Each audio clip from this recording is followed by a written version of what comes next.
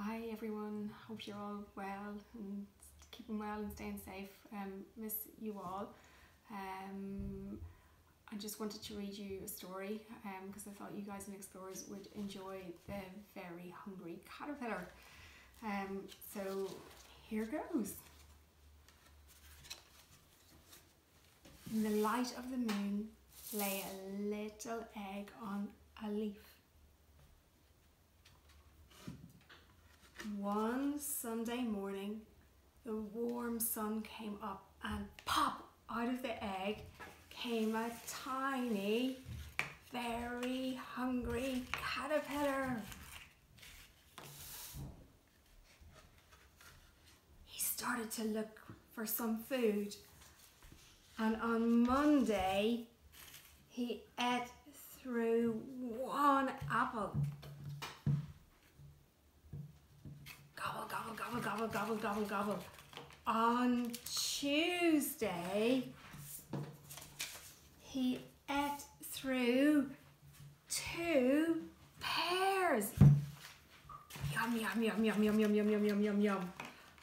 On Wednesday,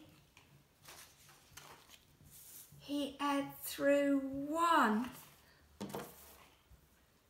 two, three plums. Yum, yum, yum, yum. He's getting bigger. What's it going to be on Thursday? On Thursday, here we go. On Thursday, he ate through one, two, three, four strawberries. One, two, three, four. Oh, his tummy, tummy, tummy. Yum, yum, yum, yum, yum. On Friday, my goodness, this caterpillar is really hungry. There's gonna be no food, fruit left in the fruit bowl. On Friday, came along looking and he found one, two, three, four, five oranges all in his tummy. My goodness, he's going to be so full. And then on Saturday, he leaves the snacks and he has some treats. He ate through one piece of chocolate cake, one ice cream cone, yum, yum, yum, yum, yum, yum, yum, yum, one pickle, well, that's kind of healthy, yum, yum, yum, yum, yum, a piece of cheese, salami, here we go, gobble, gobble, gobble, gobble, gobble, one lolly, cherry pie, a sausage, one cupcake, here we go. Can't see it. Yum, yum, yum, yum, yum, yum, yum, yum. And one slice of watermelon. Oh my goodness.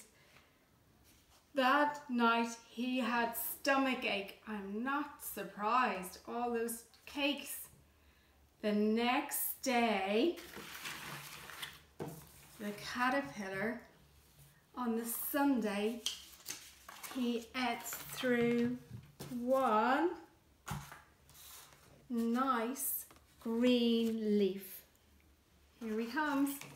Munch, munch, munch, munch on the Sunday. And he felt much better. Now he wasn't hungry anymore. And he wasn't a little caterpillar anymore. He was a big fat caterpillar. He built a small house called a cocoon around himself and he stayed inside for more than two weeks. Then he nibbled a hole in the cocoon, pushed his way out, and he was a beautiful butterfly. I hope you guys enjoyed the story. Really look forward to seeing you all. Um, but until we all see each other again, keep safe and sending lots and lots of good wishes to all of you and all of your parents and your families. Take care. Bye.